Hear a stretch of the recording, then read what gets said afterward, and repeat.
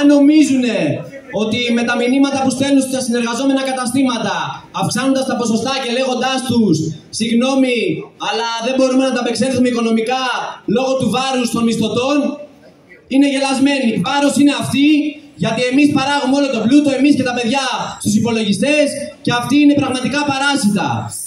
Λοιπόν, δεν θα σταματήσουμε τον αγώνα μας γιατί έχουμε δίκιο. Η σημερινή κινητοποίηση δείχνει ότι είμαστε, όπως λέγαμε, ένας για, όλοι, ένας για όλους και όλοι για έναν.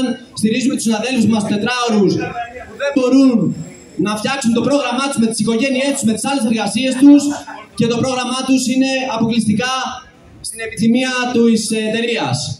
Εγώ λέω τώρα να πάρουμε την απόφαση ότι αν σήμερα η εταιρεία δεν υλοποιήσει τα αιτήματά μας μετά και τη συνάντηση που θα έχει με τους συναδέλφους μας στην Αθήνα, να προχωρήσουμε σε άλλη κινητοποίηση, σε, σε, πάντα σε συνεργασία και με τα σωματεία σε Αθήνα, Θεσσαλονίκη και τις άλλες πόλεις. Με τη συγκέντρωσή μας να δείξουμε στην εταιρεία ότι δεν φοβόμαστε, ότι θα παλέψουμε για τα, για τα δικαιώματά μας και ότι κάθε μέρα θα είναι καλύτερη.